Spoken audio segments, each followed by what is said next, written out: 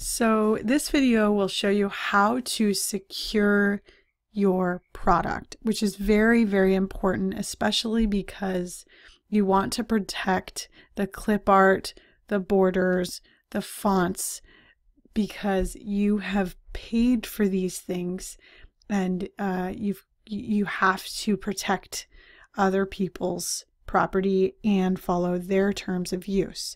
So this is why it's very important to to secure your product. I am currently in Adobe Acrobat. This is the easiest way to secure your product. The way that you do this in Adobe Acrobat is you go over to Tools and um, earlier I was organizing my pages, which is a really helpful tool. You can move pages around. Um, you can insert pages. You can take pages out but um, that's not what I'm talking about in this video. I'm talking about securing pages. So I'm going to go to tools and I am going to go down to protect. Click protect and encrypt, encrypt with password. Now it's really, really important that you do not check this off because if you do, they will have to put in a password. Your buyer will have to put in a password to open. You don't want that. So make sure that stays unchecked. Click restrict editing and printing of the document. You should allow printing. So click high resolution printing because people are obviously going to want to print your product. Um, but changes none. That's really important. And then go ahead and type in whatever password you want. I like to keep it consistent. You have to type it in twice. Um, so I have the same password for all products so that I can remember all of them.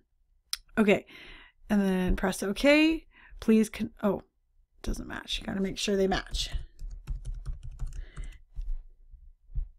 Okay, so it doesn't go into effect until you click save up here, save, and then you'll notice it is now secured. Now, some people go an extra step, step and um, they uh, do something even more uh, final. So if you decide to, uh, I I feel that securing, just protecting it in the way I just showed you is fine.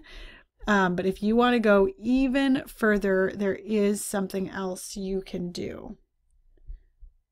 If you flatten your product, you will not be able to edit it anymore using Adobe Pro all of the pieces will become one. So you won't be able to move pictures or anything anymore. That's why it's really important to save all your products as a PowerPoint.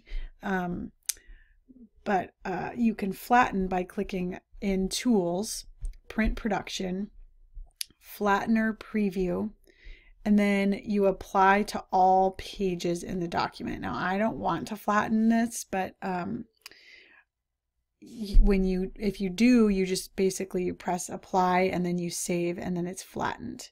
So this is how to secure and flatten your products so that they are safe and you are abiding by the terms of use